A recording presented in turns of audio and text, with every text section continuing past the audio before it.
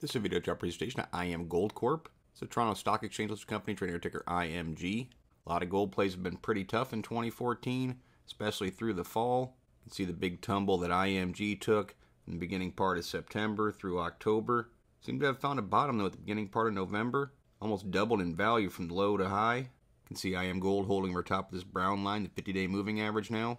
Pretty nice support set up in that area around 250. And while these plays are obviously so sensitive to gold prices, Technically speaking, it's a nice looking little chart that's going on with it. Nice little climb. Nice increase in volume on Thursday. And even if we see some fluctuations up and down, want to pay attention to this chart going forward to see if this 162 mark was actually a true bottom for IMG. I see right off MACD's move through the zero mark. That move into positive territory is a bullish sign, although it does look like it's trying to flatten out some. We're not going to worry too much about that. First time in quite a while that the MACD's actually uptrended. So while it would be ideal to see it hold over top of zero, just holding some sort of uptrend would actually be a positive sign for this chart, as you can see this downtrend it was going through for such a long period. Slow Stow's not in a bad spot over top of 50. It's indicative of some momentum being held in the play, but again, you can see it starting to come down a little bit, just like the MACD's flattening.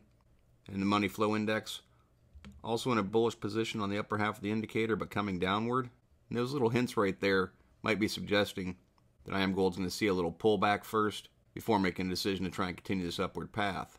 In that same vein, the relative strength index holding over top of 50, you can see the 14 right about 57, tells me that the bulls are slightly winning the momentum battle. What I look for in support is there is some right through here around 275, but what I'd want to see is 250 hold. It's not a lot of support in sight again until down around $2. Of course, that's a pretty hefty fall from 289 on Thursday back down to $2.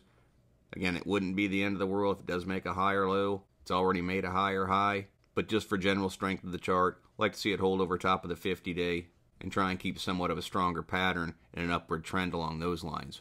To the resistance side of things, this is a peak at $3.12. I think you can see that kind of tying in just slightly above a resistance point around $3.25 because you could actually stretch this out all the way back to June to see if that was a support level. So there's going to be some resistance right here at $3. As the chart in the near term has really been struggling to push through that, I'd look for 325 to be a much more difficult spot. Beyond that, don't see a lot again until all the way up near the area of $4. That's obviously a big move, more than 33% from where it is.